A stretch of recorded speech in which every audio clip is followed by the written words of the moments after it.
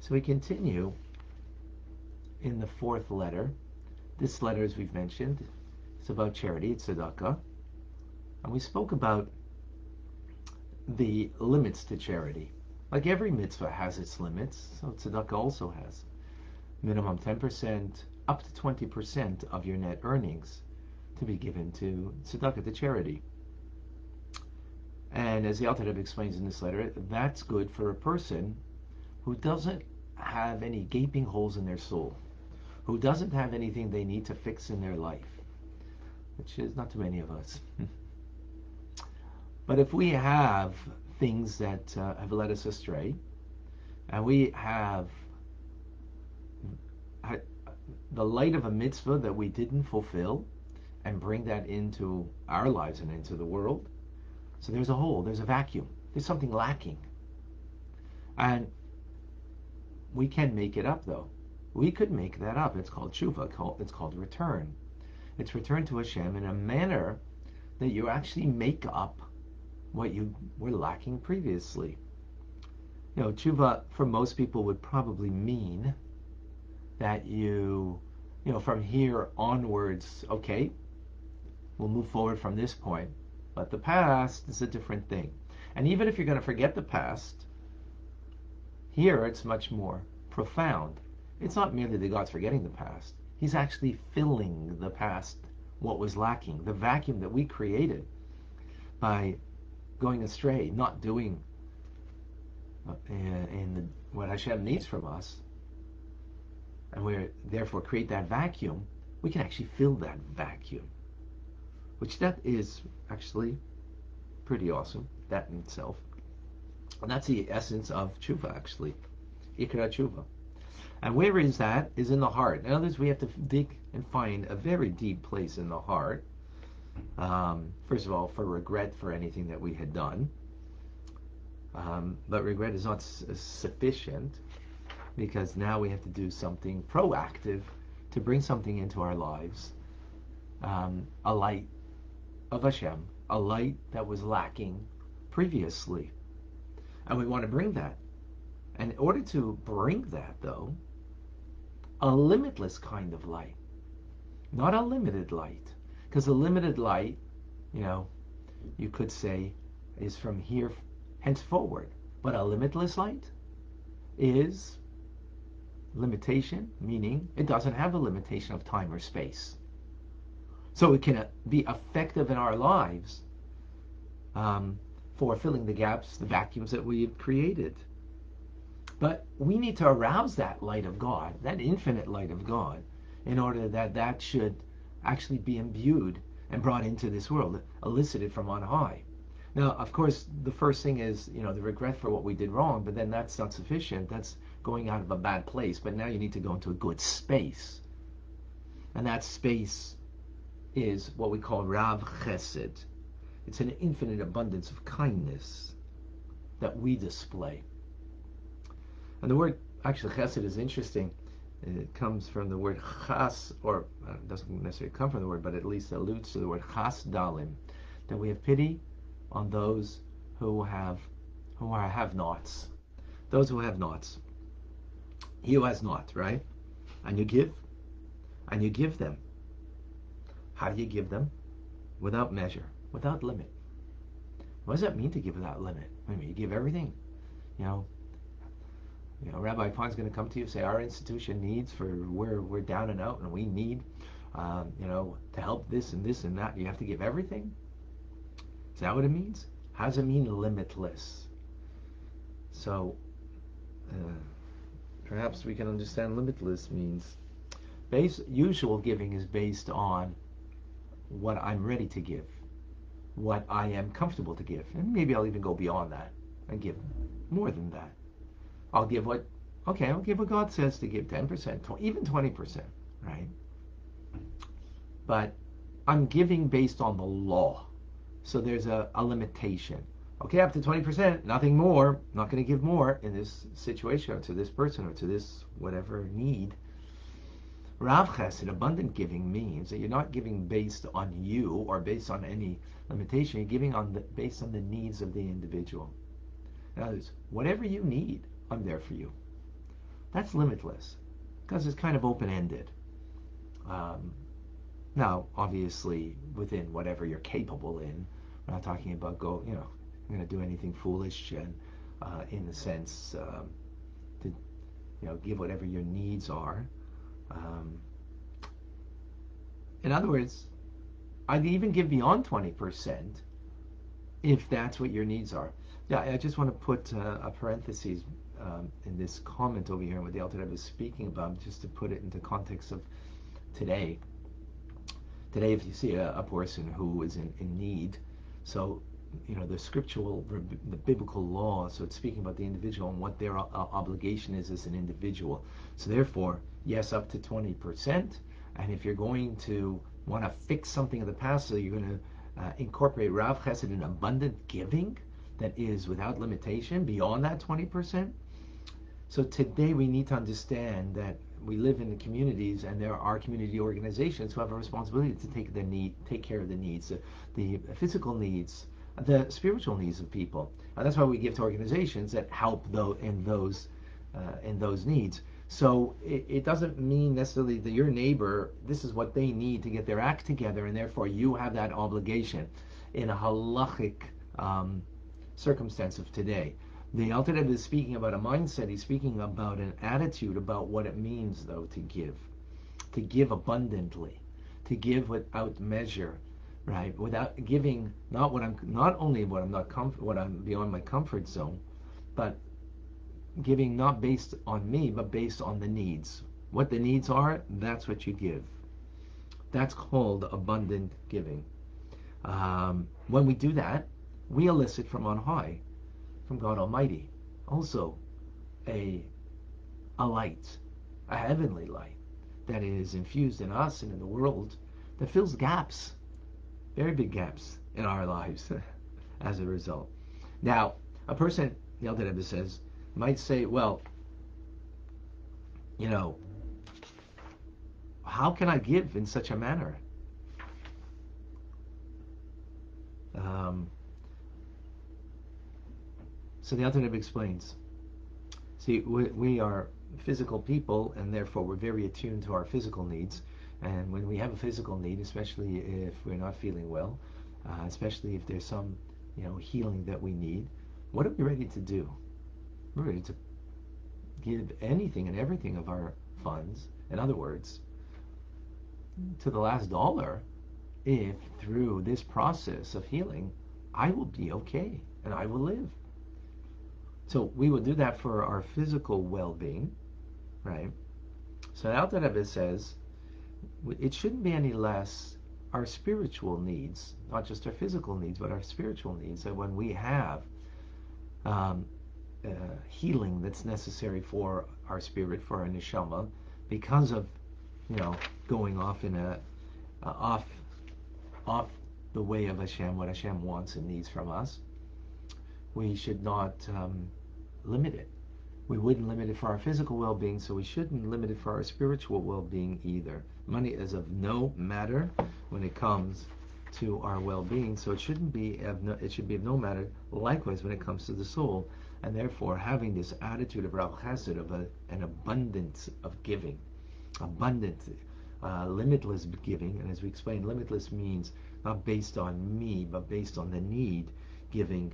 Um, this will cause that we bring a light of Hashem into our lives. That's that's with the tshuva. That kind of um, attitude and that kind of giving of ourselves is um, rectifies and all the things that we need to rectify. Very powerful. Very powerful idea. Um, you know, there's no doubt that giving is associated with, you know, you're the giver and the recipient is, you know, is the is the receiver. So you're in a in a more esteemed place because you know who, who, wants to be on the recipient's end. Uh, actually, a point here I forgot that is uh, ultimately we're all recipients from God. We're all um, destitute and have nothing because anything and everything that we have is only that God gives and animates and gives it to us and the reality of its actual existence. So we're all receivers. And here it goes a step further, the Alter Rebbe is saying.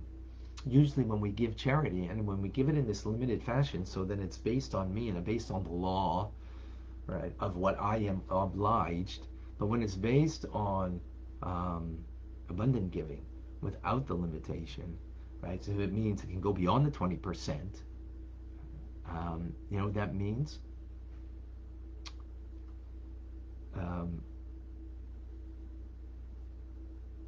I'm actually the recipient. I'm I, I'm giving them money, but the person's getting so much more in return.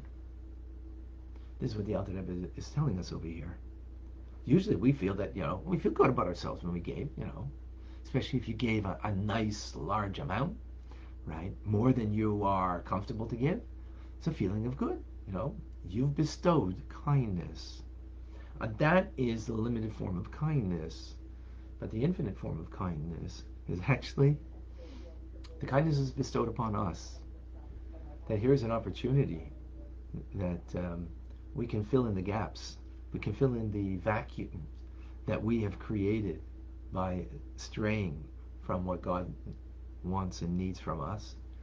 And we didn't fulfill it by giving us an opportunity that we can do something that is awesome.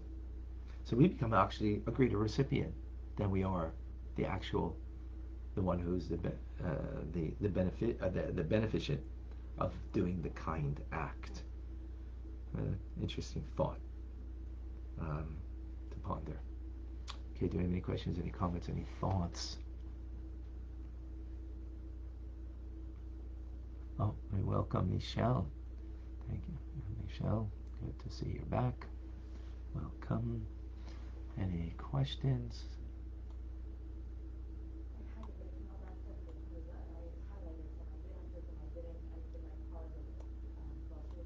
I don't see any questions. I guess we got clarity. I guess we got clarity. Okay, folks, I have to. Uh, we actually, as I mentioned uh, today, we finish off our campaign for Chabad Lifeline for our drug crisis and um, Center helping people with addiction and mental health. So we are doing a matching crowdfunding campaign. Charidy.com forward slash a lifeline. Uh, take a look. All right. Um, Wendy has a question.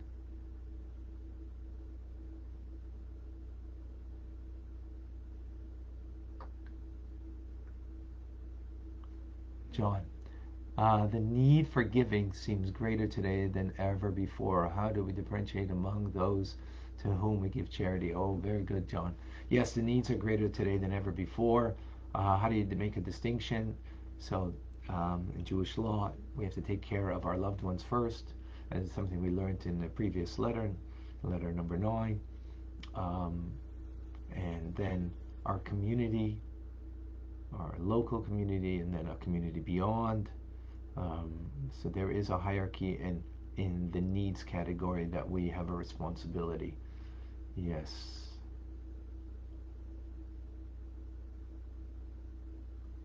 Okay, beautiful. Lori, if we're going through a financial hardship, but not in dire need, how do we give?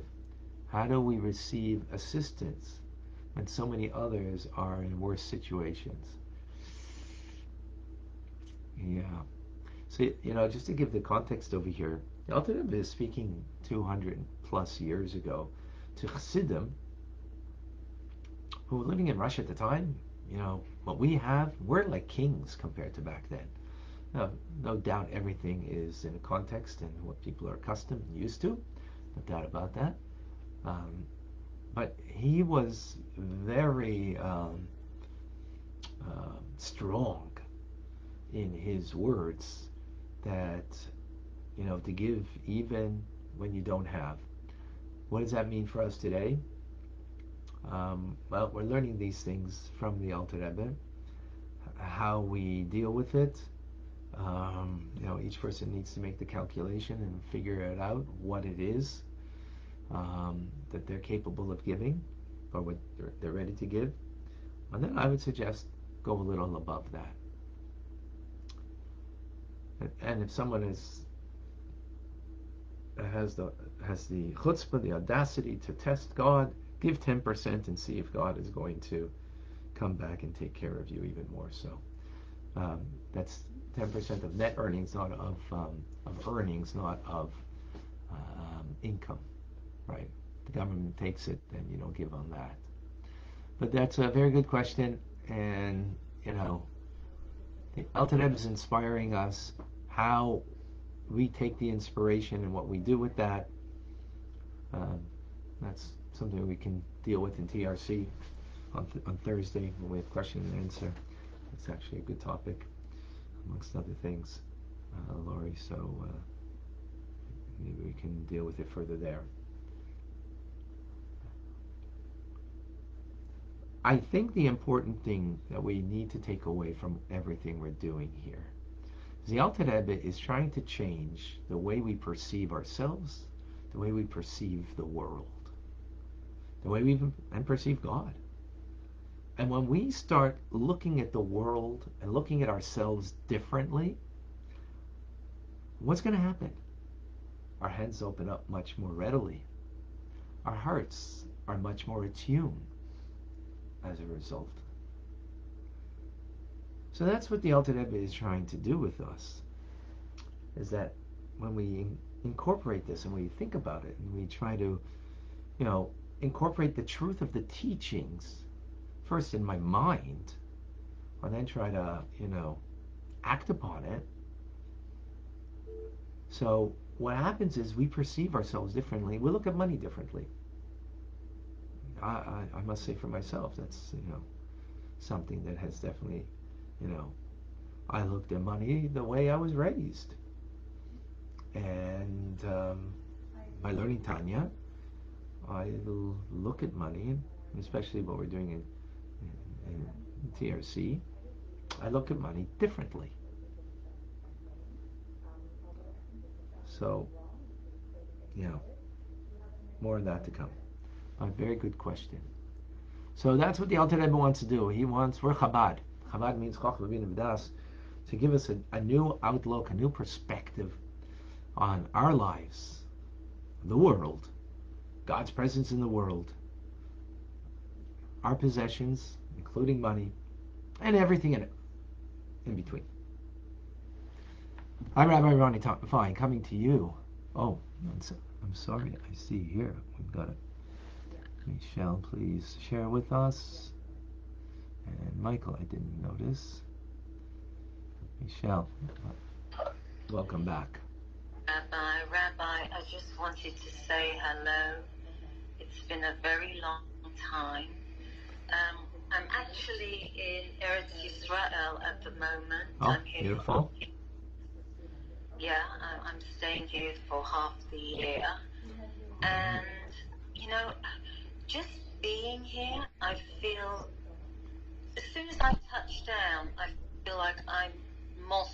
Spiritual. Something happens inside me. Absolutely. The air is different. The air. Oh The air is different. air is- it really is. Um, I am staying in Tel Aviv. I'm not in Jerusalem, but I've been to Jerusalem already, of course. And um, I, I just wanted to say it's an honor to hear you today um, while I'm here in the All right. Holy Land. All right, thank you for joining. Thank you very much. Beautiful. Welcome back, Michael. um, when uh, when somebody start, starts as a some business and um, he doesn't have uh, the money for giving tzedakah or having the time uh, to to study as much as he wants, you know, it's like he doesn't put Hashem first, but he does it for a reason that he can establish himself and uh, get uh, earn, earn money const- continuously. And um, wh- when uh, when he established himself, and I and then decides I give more back than I have to, because all this time I didn't give give enough, is this then uh, okay? That uh, No, I'm not here to. I'm not here to give okays and not okays. You know, uh, on what people do. That's not my uh, my job. Is it okay? Uh, That's not. You know. yeah, That's not. That's not. That's not. That's not for uh, in a public setting like this, in uh, where we're learning together. To you know, uh, I, every situation is different. Every person is different. So you know, uh, I can't make a judgment, make a blanket statement. I can make a blanket statement of that which uh, we know that is, uh, you know, giving ten percent. Uh, you know, uh, that can be a blanket statement. Uh, someone has the difficulty. Okay, so listen. In all things, we are working on ourselves. That's why we're BITs, Beinoni in training. We are working to become what we need to become. All right, folks. Ah, I- I'm Rabbi to you from Chabad Zich and Kedushim in Montreal, Canada. It's a privilege and a pleasure to share with you the time you have. A wonderful, amazing day. Thank you for joining.